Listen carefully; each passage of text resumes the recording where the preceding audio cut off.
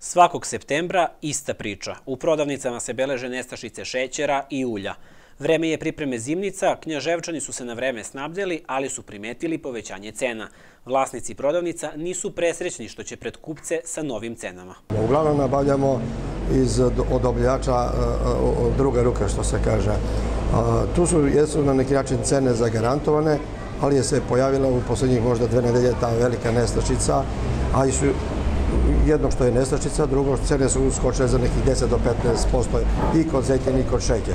Tako za sad dobijamo u nekim malim količinama, ali to je iz daleka u onim količinama koje imamo potrošnju ranijih dana. Šećera nekoliko dana nije bilo ni u velikim marketima. Nove količine šećera stigle su u supermarket Roda. Kilogram šećera prodaje se po ceni od 89,90 dinara.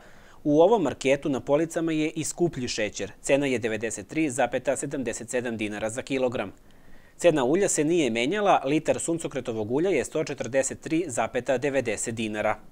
Ajvar i džemovi ne mogu se napraviti bez ulja i šećera, tako da knježevčani kupuju bez obzira na cenu. Pa od jutra je, kaže, nema šećera nigde, sem, sad je u rodi došao po nižoj ceni nego što je bio. 99 je bio, a sada je niža cena. Nisam skoro kupovala, ali kad, kup, kad je tražila evo suncokotovo ulje i napad sam tražila, nema ga, pa sad je tu, ima. Poslednji put kad je bilo ovo roda ovde, e, bilo je 87, ali pre unazad.